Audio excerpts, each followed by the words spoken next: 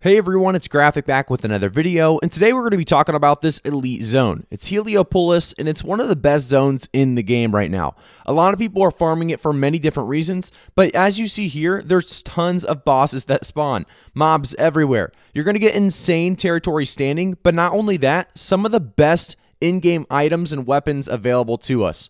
So I'm going to show you guys a few of the bosses, where to find them, and what they're going to drop that you should be looking for. These are best in slot items for some of these weapons, and I think a lot of people are going to continue to farm these for weeks to come. If you guys go up to the north side of Heliopolis or the very, very top of Heliopolis, you're going to find a huge Zerg, most likely continuing to farm four or five bosses. So that's exactly what's happening here. As you see the big cat spawn, this is one of the best in the game to farm because it drops a very, very good ring as well as some other stuff as well. We'll talk about those here, and like I said, in just a minute.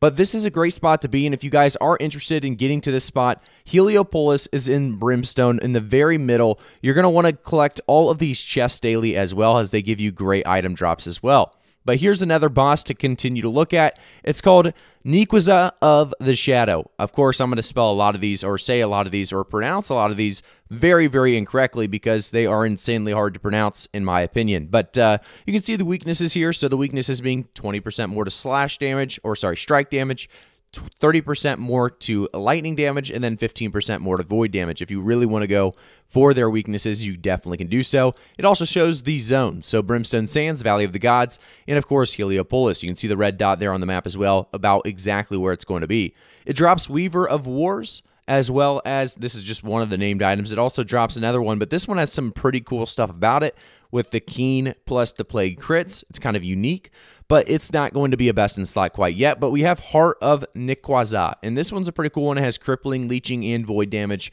Again, not going to be the best in slot probably for a lot of us, but it's not a bad ring when it comes to named legendary. So Pretty cool that you can get those two name legendaries up here. What else is there up here? Well, the next boss that we're going to talk about is going to be the Bathakit of the Cudgel. This is a guy that usually stands on the side by a chest, guarding it pretty much, and you'll actually grab him, pull him up the stairs by hitting him with a bow or hitting him with a fire staff or any kind of ranged attack. He'll run up there, and you guys will just basically zerg him. This is obviously in the zone Brimstone Sands, Valley of the Gods, and Heliopolis. Again, you can see some of the weaknesses yet again going to be that 20% strike damage, uh, lightning damage, and I believe it was void damage. So pretty cool stuff there. Uh, we have the Warrior's Energy, which is going to give you 24 strength, refreshing toast, nimble, and evasive. So not too good, honestly, but it's a named legendary, so you might as well go for it. We have the very, very solid Ancient Bane Cudgel, though. This is going to be 29 strength, Ancient Bane, thwarting strikes, and Sundering Shockwave. Depending on what you like to run with your hammer in these ancient dungeons, this could be one of the best really ancient Bane hammers out there when you can just go and farm it like this. It's going to be one of the best ways to get it too. So Monticle of the Shield is next in line. Like I said, 20% more strike damage, 30% more lightning damage, and 15% more void damage. So this is going to be another one to farm as well. And some of the cool stuff that you actually get from this one is going to be the Greaves of Monticle. It's going to give you 24 strength, and then Elemental Aversion, Freedom, and Corrupted Ward. So it's not going to be crazy, crazy good, but if you are looking for Corrupted Ward pants, it might be an option for you. So next up, we have Kindred Shu Magabal. Magabao Gao. I don't know how to say this one. Like I said, all these pronounced unbelievably hard for me, or I would love to hear them pronounced in general, just to kind of see what they uh, they come up with when it you know they say these things. But we have threefold Storm Gore, which is a spear, 29 dex, chain lightning, enfeebling skewer, and keenly empowered. Not a bad kind of uh, you know thing to start with. Not a bad spear to start with. We have Heart of Magabal, and this is one that everybody is hunting for. This is best in slot for a lot of people. 24 strength, hardy, keen awareness, and of course that slash damage. You're going to deal 4.8% more slash damage. It's massive for slash damage users and strength users. This is going to be, like I said, something that tons of people are going to be hunting for and that's why most of these people are up there. We also have Heka of the Crossroads. This is going to be a little bit different of a spawn. Make sure to look at the video here. It's going to spawn much, much lower than every other boss we talked about so far. But the reason I'm mentioning this today is because it has regular pants in the roll. So if you get the drop regular pants, which I have, it's very, very strong. It has best in slot perks, so make sure to hunt that one down. We also have Heart of Heka, which is a very, very solid secondary ring to look for as well with slash damage leeching, and so much more. So we have the Thunder Intaneous Autonym. This guy is a little bit special. He spawns up here where we're at right now. However, you have to summon him by having all the glyphs. If you're with a big Zerg like this, though, you're not going to have to worry about summoning him yourself. I'm sure they will on that cooldown. So make sure to take advantage because there's a lot of named legendaries here coming across the screen that you're going to be able to see. He drops all of these. The World Encircler, 29 focus, blessed, keenly fortified, and refreshing move. Fairly solid, if you ask me.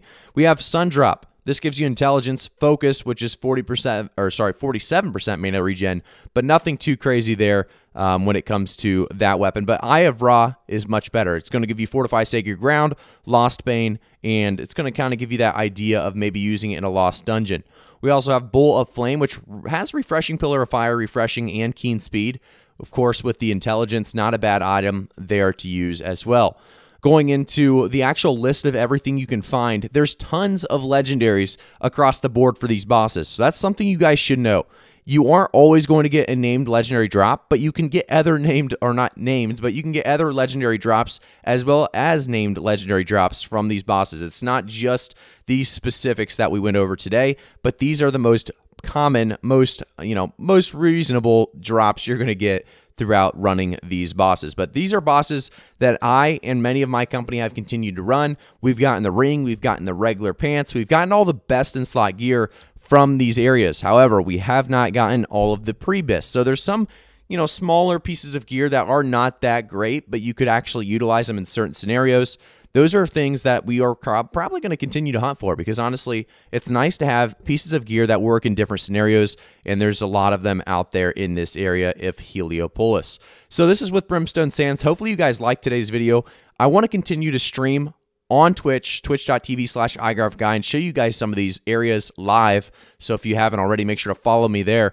But this is one of the guides that I kind of wanted to come out with so that you guys would actually know where people are getting best in slot gear without paying a fortune to get them.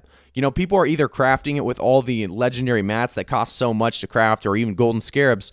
But why do that when you can go farm something for a half hour or an hour and spend no gold but actually gain gold? Because remember, you're going to be able to get drops like the glyph uh, or these glyphs, you know, that I talked about in the last video that make you a ton of money. You're going to be able to get uh, so many different great things as well, like, you know, just purple drops. Commonly, I get purple drops that are good. So here, let's see what this one is. This one shows you Constitution Strength, Resilient, Physical Aversion. It's not bad for somebody just starting out looking for some starter piece. There's good gear that drops not just legendary names. So if you are new to the game or if you're a fresh level 60, you unlocked Brimstone, you're able to get to Heliopolis, take advantage of this zone. That's basically what I want to say today in this video. Heliopolis, take advantage of the big Zergs up here farming these bosses. It's going to speed you up quite a bit when it comes to territory standing. When it comes to the best in slot perks and gear, you're going to find them a lot up here. And if you guys want, there is a song that can be played that gives you territory standing bonus, and it's actually really, really good. As you can see here, that boss just gave me 192 territory standing. You get a ton of different legendary uh, resources as well, as you can see there in the bottom left. So thank you guys again for tuning in. Make sure to like the video, subscribe to the channel, and turn notifications on. I'll see you guys all in the next one.